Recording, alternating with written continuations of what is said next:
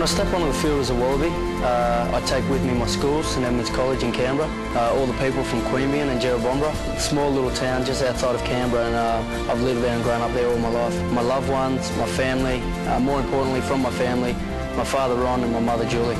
The Rugby World Cup on Fox Sports. Over 40 live games and replays throughout the day. And I take you.